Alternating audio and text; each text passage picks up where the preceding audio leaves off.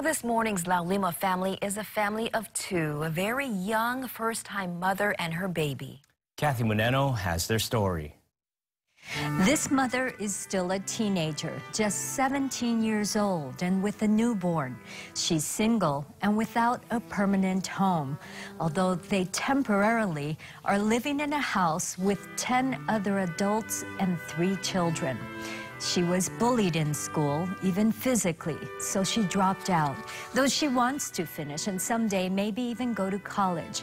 But right now, she's not sure which way to turn, though hoping and praying that she'll be able to provide a safe and happy space for her and her baby boy.